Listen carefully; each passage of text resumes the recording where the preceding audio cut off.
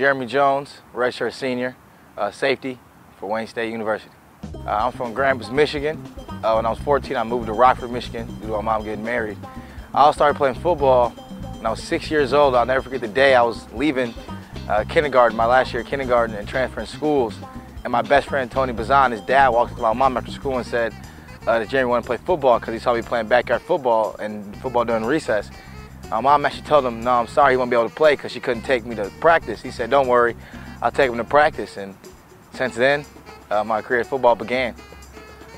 Growing as a student athlete uh, these past five years at Wayne State, uh, it's been it's been a, a, rough road, but I couldn't say it's also been a fun road and a very thankful road. Um, coming in at school and football, it all seemed like a lot at first, you know, just all the time you put in and the work and the nonstop a schedule that you don't put together, someone puts together for you.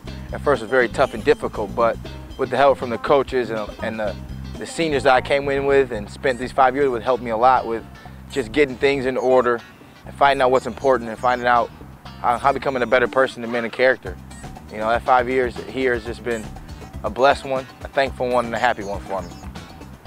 Uh, if, I, if I sat here and, and said uh, the accolades I've got over my career said it means nothing to me, I'd be lying to you. You know, but I'm thankful for them. But to sit here and say that I did those under my own power, my ability, I sit here and be lying again.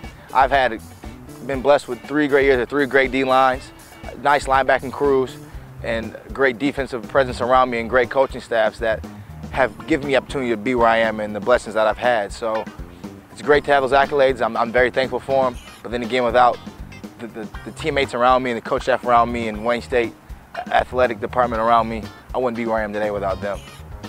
I don't have a lot of great moments here at Wayne State. The first, first greatest moments will always be the Saturdays, the 44 Saturdays I get to play in in my career. But most of all, a lot of people don't get to see is the team bonding in the locker room and off the field events when we hang out together. You know, that's what I, am gonna miss the most and what I've loved the most so far, being around my teammates outside the football setting and still being together with them. To consider my last year at Wayne State to be a success, it's honestly would have to be the most winningest team in Wayne State history. And most of all, is to bring a championship of some sort to Wayne State. And not alone just Wayne State itself, but the city of Detroit. I want to do something for Wayne State football to bring a sparkle in the city of Detroit, you know. I just want to win for Wayne State and most of all the city of Detroit.